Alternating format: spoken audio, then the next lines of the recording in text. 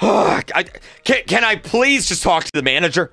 I've been sitting here for 10 minutes trying to buy these brand new Nikes for my son who's trying to go into kindergarten. And I, I am tired of waiting. I've got a soccer game at four.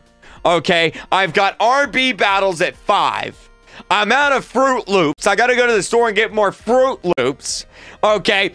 I, I need to tell people to hit the like button on my video. And on top of that, Jimmy Donaldson, Mr. Beast, doesn't even follow me on Twitter. I need to talk to the manager right now.